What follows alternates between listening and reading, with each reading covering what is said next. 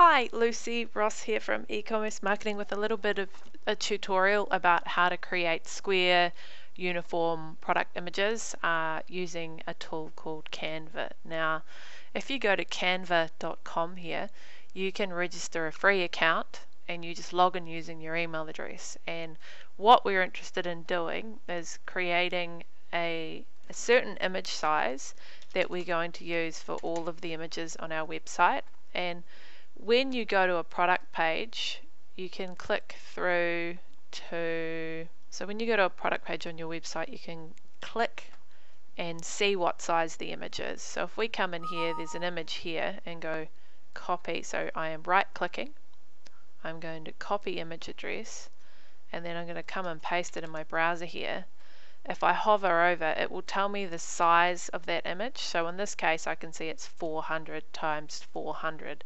So that seems to be the size for this website. So what I need to do is create a canvas that's 400 times 400 or it might be 5 times 5 or 6 times 6. I recommend making it a square just so that it looks all nice and tidy and when you come to a page like this things line up all nicely in a row versus when you don't do that and then you end up with just a mess of products of all different sizes so they don't line up and they look a bit more like this so long and and you know they're not all square and tidy and nice.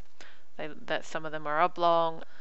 Let's say you've got an image like this one here that is an oblong. How are you going to get that to be a square and go on your website um, well in Canva once you've created the size you want you come here and you go to upload and you click the green upload button and you find that image on your on your file on your computer and what you'll see is a little green bar load up here.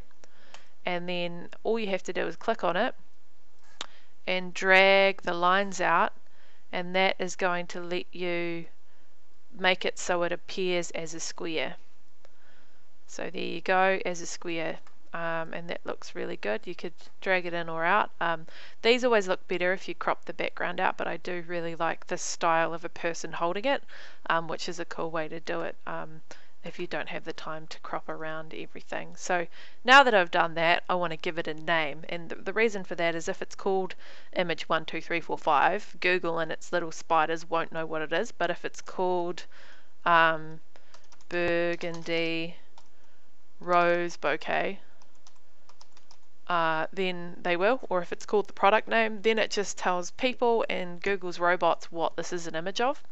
So now that we've created a square image, we need to download it.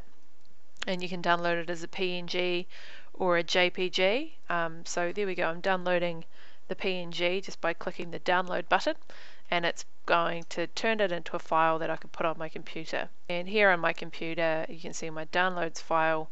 There's the nice square version with a, a, a proper name and there's the old rectangle version and now what I can do is upload that to the website and it's going to look all nice and square and tidy. Uh, another thing that you should also look at doing is coming to a website called Kraken.io and there's a there's a free tool there that will let you squish things down so that they're nice and small for the internet. So I've gone to Kraken.io I did that quite fast. I've clicked on try the free web interface and I'm going to upload that file, that square file that I've just downloaded to my computer. So I go click on there, I click into uh, find the product and it's 571 um, kilobytes large uh, and so it's reduced it down by 70% and now if I click download, you'll see here is the kind of squished, nice version of it um, that's going to load up much faster for people who are on mobile. So I'm just going to come in here and replace that file with the new light fast one. And the reason for that being if you upload gigantic images that are way bigger than the space on the website and you don't squish them down like this, it's going to affect your SEO rankings because you'll be really slowing down the page and this is a really easy thing you can do to fix that. Now I am a huge fan of Shopify because it's really easy for anyone to use. It's got amazing analytics that give you insights into what marketing is working and it just makes life easier. I find most people who I put on Shopify and build out a, a template turn more strangers into customers. So let's say we're entering this product, burgundy rose bouquet.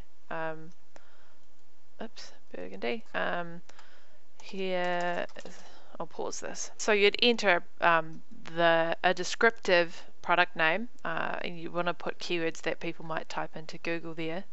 You're going to put the product type, which is a bouquet. Uh, the vendor is your name. Um, and this would be the brand name. If it was something like a Royal Doulton teapot, you'd put Royal Doulton in there. And then we come to the image file. So we're going to go and upload that square image we've just created, um, the optimized version.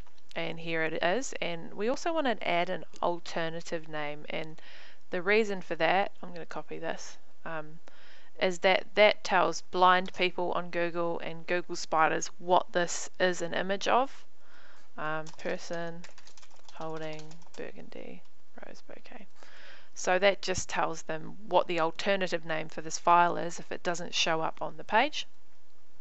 So once we've done that, we're also going to add it to the bouquet collection.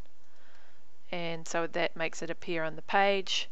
And you can also select the templates and put all your other details in here. But now we have uploaded a square, optimized, uh, image that's also optimized for keywords um, and for SEO.